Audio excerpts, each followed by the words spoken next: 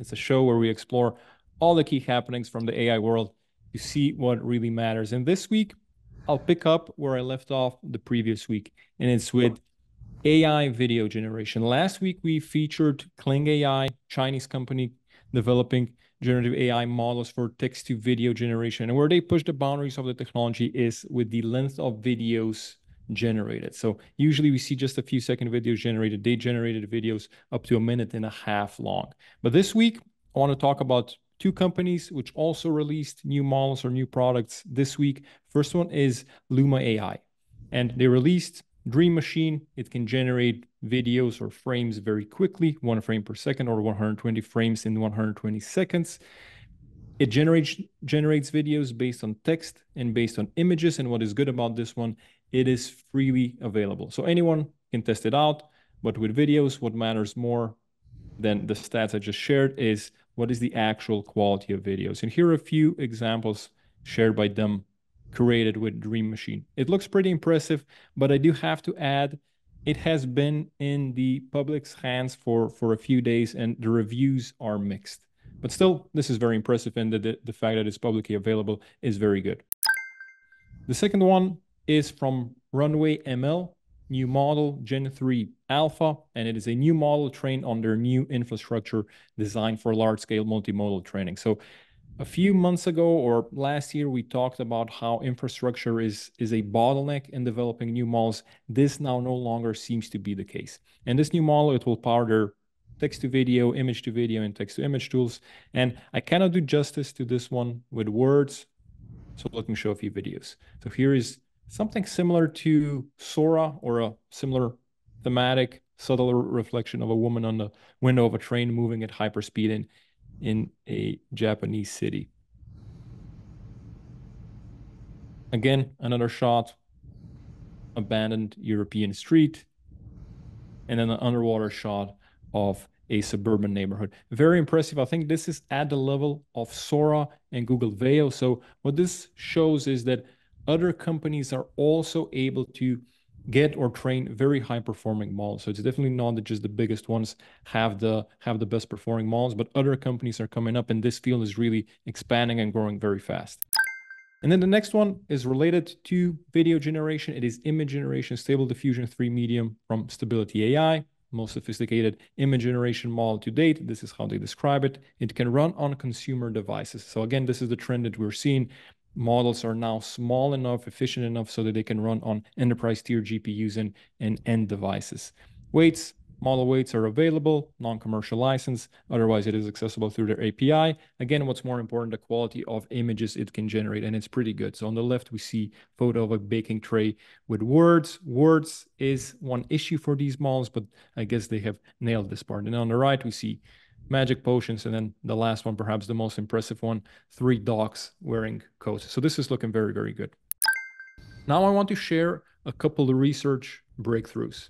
The first one is the prompt report, a systematic survey of prompting techniques. Now, prompting, it's a way to communicate with large language models, and you need to be effective at doing so. Poor prompting will result in poor answers. And the issue with prompting was it was very hard to evaluate. It was very hard to know what you're doing wrong or what you're doing right and what you should change.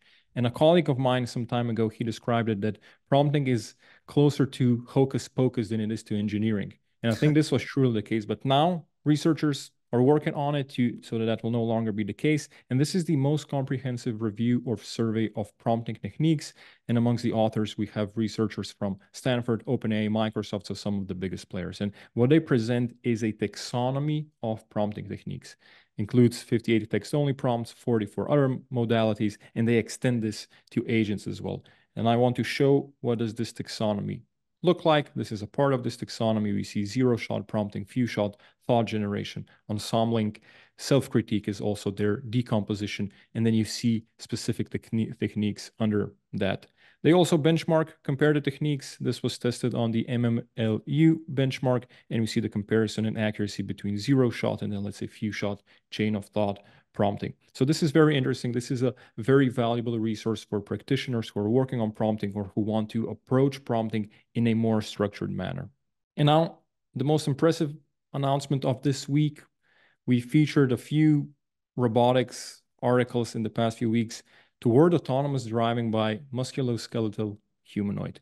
And yes, it's a robot driving a car. So let's show a video of how this looks like and what the robot is capable of doing here. So it is operating a vehicle as a human would, hands on the steering wheel, it is making a turn. It can also accelerate, it can brake. Again, everything the same as if a human was driving this car. It operates both hands on the wheels, it can turn the wheel.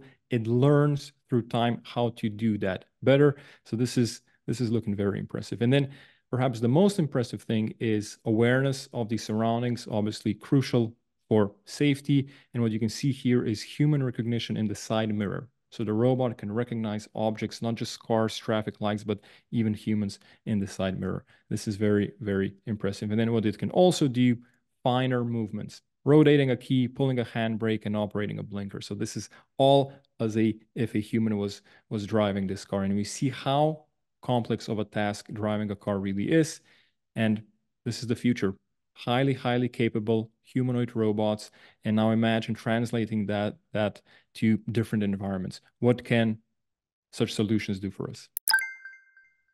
And then I want to finish this week with announcements from the biggest players in the domain. First one from the from NVIDIA. NVIDIA, they release Open Synthetic Data Generation Pipeline for training large language models. It is a family of models designed to generate synthetic datasets for training large language models. And we see highly capable models trained on almost exclusively synthetic data.